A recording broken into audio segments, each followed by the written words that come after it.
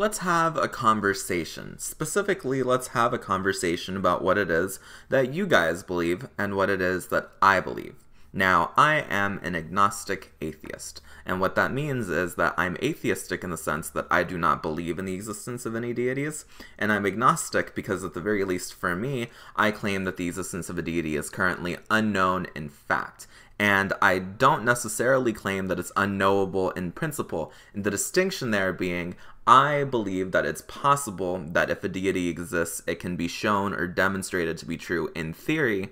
And I don't believe that such knowledge is outside of the realm of what is knowable for humanity in theory.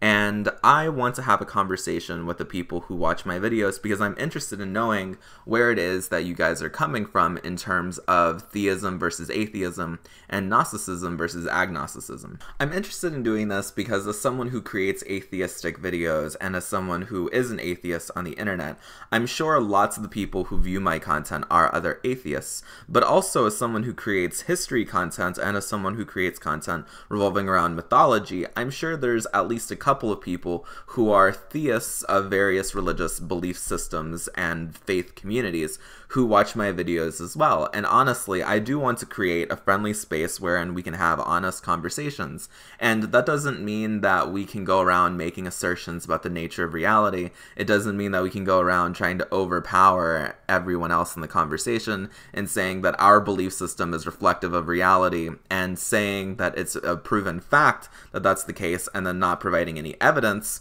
for this idea and for this assertion, but it does mean that we can have good faith conversations with people who may not agree with us. I want to create a community wherein people who are atheists have a space wherein they can come and talk about their ideas, but I also want to have a community wherein people who are theists can come in and ask honest questions.